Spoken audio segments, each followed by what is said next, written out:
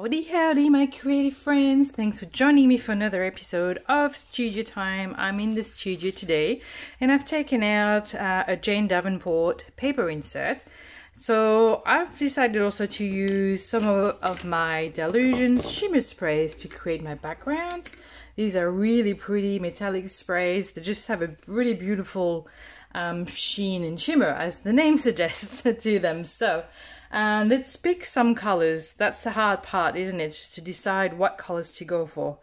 Um, I'm thinking maybe some of this London blue, some pure sunshine. Let's start with those and then we'll see how we go. So you always have to shake those really, really hard because of the little um, ball bearing inside, which is what is going to help you mix the particles of shimmer into that liquid. So if you have a bottle you haven't used in a while, you'll see here, let's try to get in shot, all the metallic here is just drop down to the bottom and then you've got the clear liquid sort of on top. So that's why you have to make sure you shake them really well. Let's do that. And drop it on the floor at the same time. okay, this should be good. So if you look at the bottom, you should not see anything stuck um, right there. So we're good to go. Let's start with the blue. Just random spray. Bit of the yellow.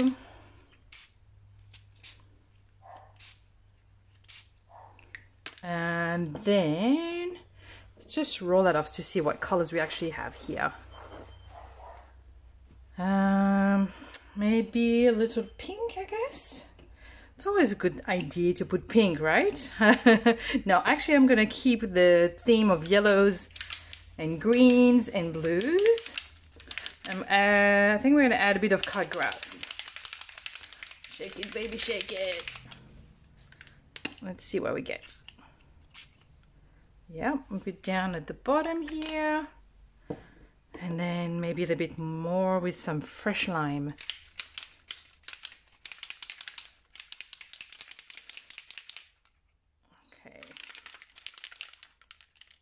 Fresh lime.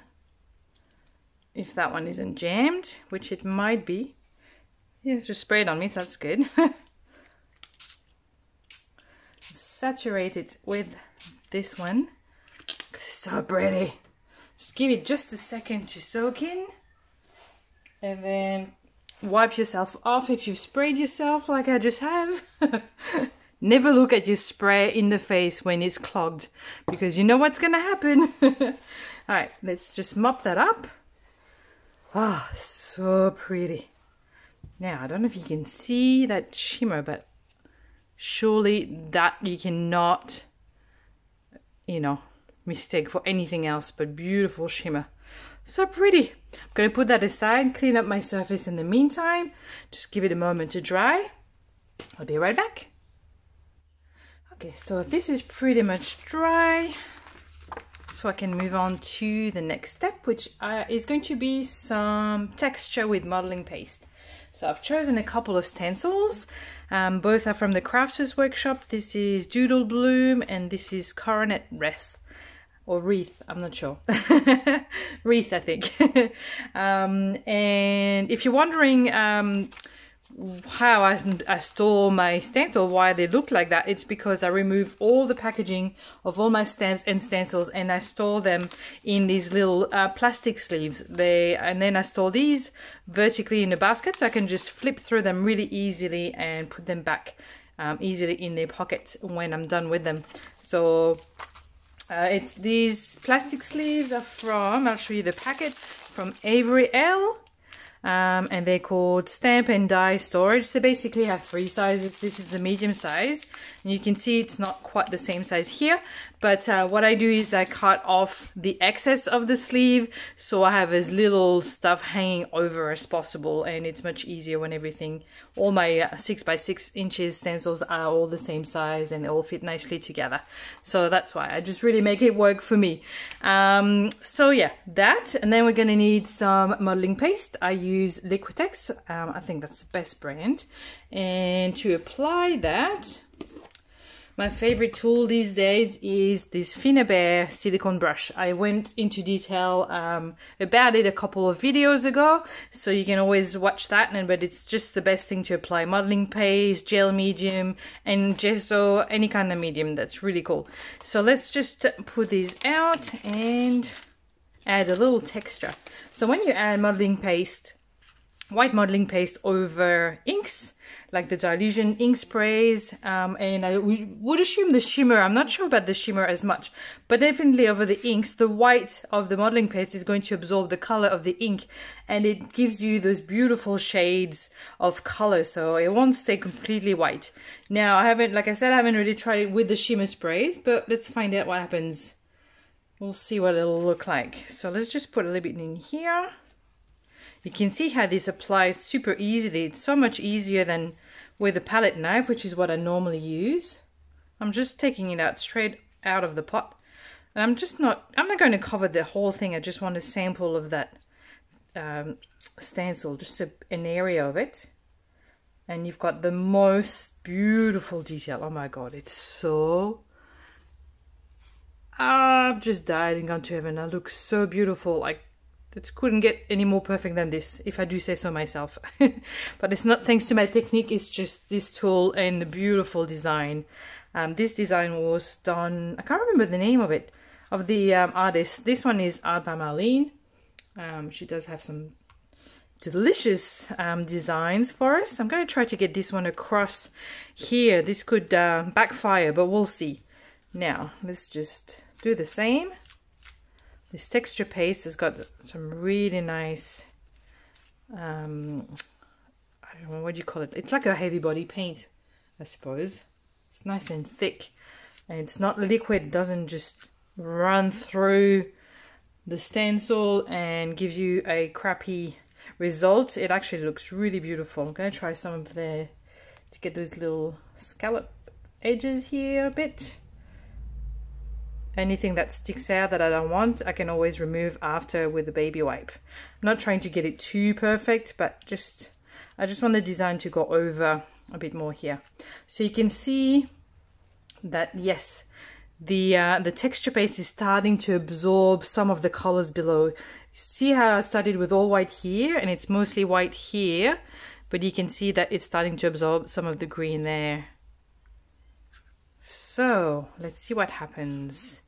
I'm just going to wipe my table once again, just so I don't put stuff all over. Actually, I was pretty good this time. And it wasn't too messy. Um, nothing I want to remove while it's still dry. So what I'm going to do now is just pause the video, let this dry. I'm going to speed it up a little bit with my heat gun and then I'll go clean my stencils because you don't want any modeling paste drying on them. That would probably make it much harder to clean later on. So I'm gonna let this dry and then when I come back, I won't move the this page. We'll see how much is changed. So stay tuned. Okay, I said I wouldn't move my page, but I did move it while I was drying it. But anyway, so this is what it looks like now. As you can see, the modeling paste definitely has absorbed some of the color, not saturated, and the reason why I wasn't sure it was going to work as much as the Dylusion ink sprays is because of the shimmer in it. So I was thinking the shimmer may stop the ink from absorbing a little bit, but I knew it would, you know, still happen. So what you get is basically a beautiful soft effect and that texture is still definitely visible. So it looks just beautiful. I don't really want to touch it much anymore because it's so pretty as it is. Um, but what I was thinking is to keep it quite light um, because it is quite delicate and shimmery right now. So I've got the piece of deli paper where I have a bit of leftover paint. Um, I was thinking maybe I could just cut out some of these colors and then just um, collage them onto my page. So I'm going to use my handy dandy tool again, um, some matte gel medium, and then do the same pretty much I did with my modeling paste uh, except that I'm going to tear off pieces of this deli paper get the colorful areas some of them see how we go. Want to cover all of that beautiful um, shimmery background, but maybe just, you know, a couple of bits like that, just a bit of texture happening. Yeah, let's do that. We won't know until we've done it, so let's just go for it.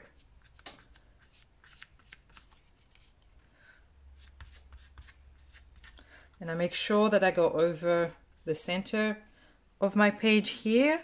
It's not ideal when you have staples in the center, obviously, but it just, if you just put them on either side, it just makes you feel uh, your, your page a little bit disconnected. You know, it's not a spread, a uniform spread. Um, if you've got bits on either side, but if you do have something going across both, then um, it feels a bit better. Now I'm picking up my gel medium's picking up some of that color, which was actually Dylusion ink sprays on the deli paper, so that's why it's running a little bit. But I think I've got some of it off there, that's all right. No big deal. Just make sure you press your deli paper quite nice there because you've got the texture with the modeling paste underneath. So I may not want to stick without, you know, a little bit of a bit of help basically. So that's it, it's added a little bit of color, that's all I wanted to do. So I'm going to dry that and then have a little think of what I'm going to do next. Alright, I'm back. I got a bit distracted with a few orders to pack for the store. Um, and uh, by the way, all the supplies that I use in my videos you can get at the Mixed Media Store. So the address is mixedmediastore.com.au, easy. So just to add a bit more uh, fun and texture and um, metallic effects to my page and to unify all my elements, I'm going to add some splatters across the page. So I've chosen a couple of colors that uh, are complementary to what I'm going for at the moment. So light blue, which matches this one, and then a greeny color. So this is called Waterfall Green, and this one's called Sun Up Blue. They're both metallic acrylic inks, so they're just like a if you've never used them, imagine it's a super liquid acrylic paint. That's the best way I can describe them. Um, except that you don't have to dilute the paint because it's already done for you in the correct way, correct ratio, and all of that. So they come with a little eyedropper, but I'm going to just put a little bit here on, in a little pot, um, and then dip my fan brush in there, and then just tap it. Oop, nah, got a bit excited here. Well, I didn't want such a big blob. Not this big. It's okay. It's fine, the baby wipe while it's still kind of wet, you know, you can usually remove most things. And so basically what I'm going to do is just tap, tap, tap, tap, just throughout. I love using my little fan brush here for splatters. It works really well. I used to use it for um, oil painting mostly, but I haven't done that in a while, so I'd really like to get back to oil painting as well someday. Okay, I'm going to switch colors um, and use some of the blue now. Just because I don't like wasting my supplies, I just poured back whatever I had left over into the jar. And then I'm going to just add a little bit of this blue. You don't need much at all, so there's no point in wasting any excess. A Couple more. Not too much, we don't want to overdo it and then I'm going to clean that up, dry it off, and be right back. Okay, I think my little uh, splatter is mostly dry. I'm going to go with the thick Sharpie paint, paint marker, I can't speak today, paint marker, and then just add Ooh, I should shake it up a bit more than that. Prime it a bit more, just to make sure it's white um, around there. But what is going to happen is that it's also going to absorb the color underneath. So you'll get um, some more controlled marks, but also that will be a little bit more subtle. Now, if I go over um, the deli paper, then I should be fine. These dots should stay white because there is a barrier between the Dylusion ink sprays at the bottom um, and the deli paper. So we should be fine here. But I'm still adding some on the background just because it adds um, just a little something that's not visible, but you know, it's all in the detail, basically.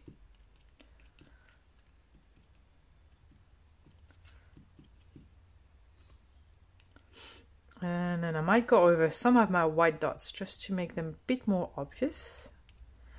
I want some subtlety, but not, you know, the whole thing completely subtle.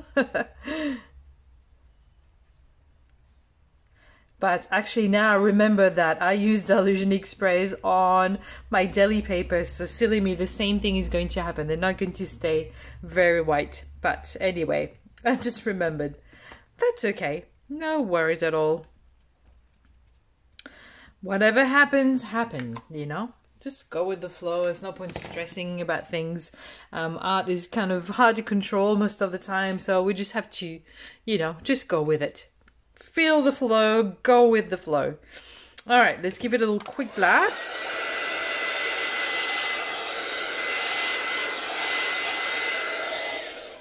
Obviously, there's many things we could do here. We could add more collage paper, more doodles, more paint, but you know, I kind of like what I'm looking at now, so I don't want to I don't want to lose the effect and overdo it. Um, only thing I would like to do that is not going to cover too much of my beautiful texturing colors is to add a little bit of um, of acrylic paint with my finger. So a bit of finger painting. Let's see what color we should go for.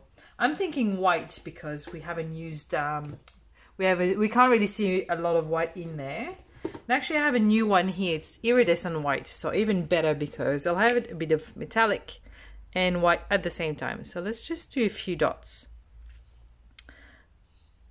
Just, you know, again, subtle, still in keeping with the rest of the page. It's not uh, a bright white because it's iridescent, but it still gets the effect I'm trying to go for. So I'm just really just dabbing my finger. I'm not trying to make perfect circles, just adding a little bit of texture, that's all. I'm going to add a few also on um, the 3D texture paste here, just so it all comes together. And it kind of looks like it's it's snowing on the page. Look like little snowflakes falling down it's kind of nice. There, maybe one more here. All right, that's it. it's easy to overdo it. Let me show you what I'm doing here. See the little snowflakes? How pretty that is. Oh, I'm just, um, I just remembered I didn't actually explain what these were called. This is the FW Pearlescent Liquid Acrylic. That's from Daler Rowney. So if you haven't tried it, it's they're really awesome to play with. Very fluid if you want to, you know, cover your surface very quickly, uh, but also perfect for little details. Anyway, so I thought I'd just add that in. And this one is Liquitex Basics Iridescent White. It's really nice. It's like a, what would you call it? It's like a white silver, like a pearl, I suppose. a pearl white with some iridescent in it. All right. Um, okay. I'm just going to dry that off and then think about what I'm going to do. But I feel like we're close to the end of the page because, like I said, I want to keep it subtle and light and not lose this beautiful effect that I've got here. So I was debating between doing a thin border with the iridescent white once again or to go with something darker to make things pop a little bit. So um, I'm going to try with the white first, and if that's not to my liking, then I'll go over with the dark um, afterwards. Easier going with white, then black, then black, and then white.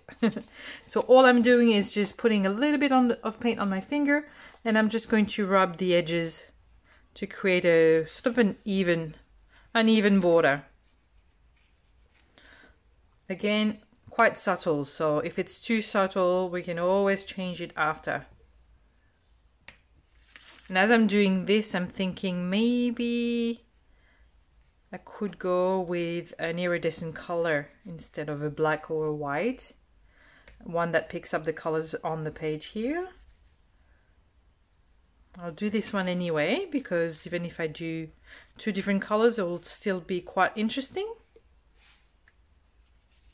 So as you can see it's nothing difficult at all.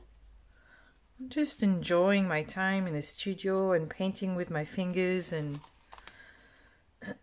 taking a bit of time for myself in between packing orders. but I love doing that too. It's good. It's all good.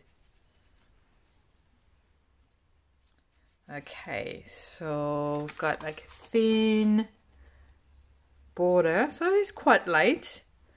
I think I'm going to try adding a little bit of color. You know, I think it needs a little bit of a je ne sais quoi. So I'm thinking, I am thinking, let's see what I've got at hand here. Um, I may add some of the this one. So this is the Pebeo Studio um, Iridescent Green Blue. It's got two tones in it. It's beautiful and really metallic. So I'm just to add a little bit. Oops. So same thing that I've just done, just a thin border with my finger. I'm not even going to go over all of my white. I don't want to lose all of it. So I'm just going to add the blue just in sections. Make it a little bit messy looking. But it's still metallic, so it's all nice and pretty. Just like that. A little bit more.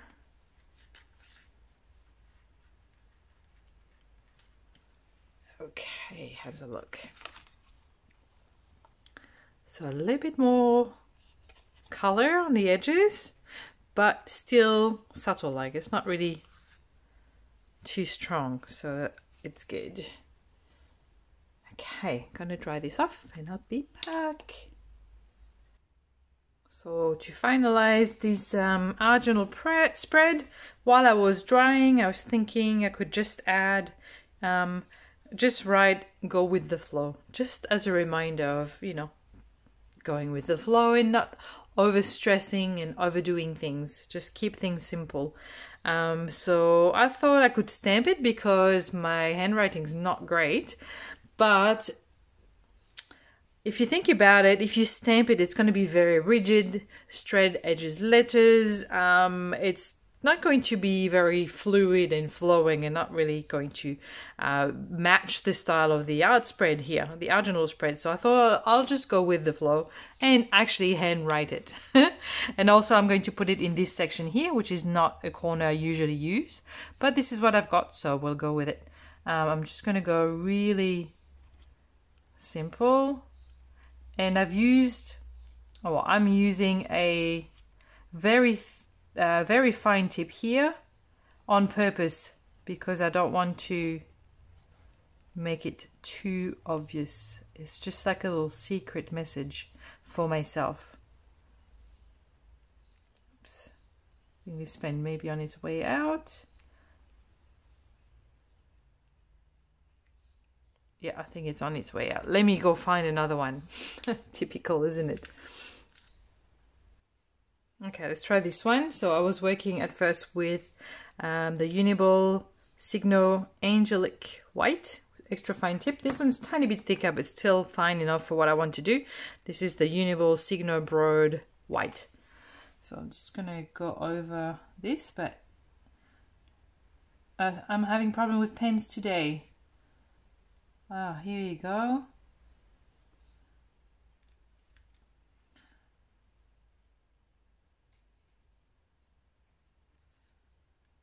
it's just you know having a moment.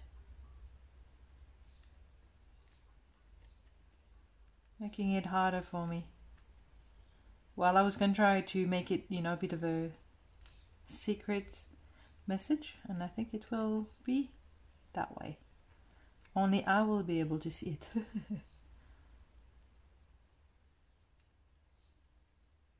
it's a new paint, so I haven't really primed it enough.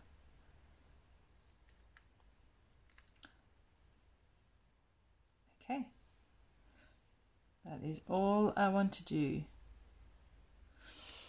Um, and then the white may pick up some of the colors from below, making it a bit more subtle. We'll see how it looks, but for now, this is the finish uh, page in all its glory and texture. This is so nice. It's just so nice to feel as well. I hope you've enjoyed this tutorial, that you had a lot of fun and you've you know, feeling inspired to try some of the techniques, maybe color combinations and supplies yourself. If you've enjoyed it, then make sure to give me a thumbs up. It's really important. And if you haven't subscribed yet and you're watching me on YouTube, please subscribe. If you're watching me on my website, then leave me a comment to say hi and let me know what you think of this. Thanks very much. I'll see you guys again soon. Bye.